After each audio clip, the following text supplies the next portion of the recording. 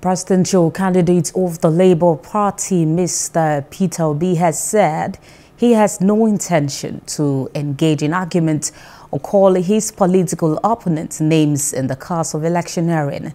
He said this on Monday at an interactive session between him and northern eastern stakeholders in Abuja.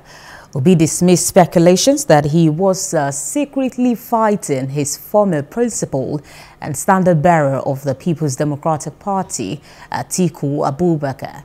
He urged, uh, the, argued that what was most important for him and other Labour Party chieftains across the country was to ensure that millions of citizens were pulled out of poverty.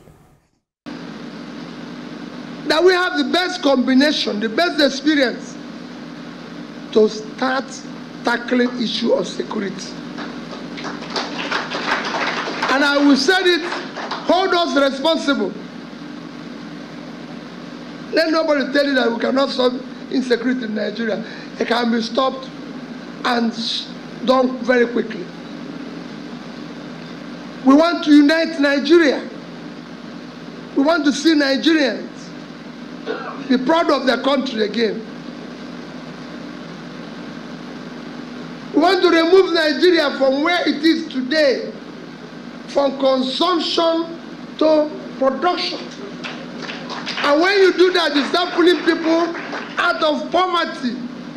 Hello. Hope you enjoyed the news. Please do subscribe to our YouTube channel and don't forget to hit the notification button so you get notified about fresh news updates.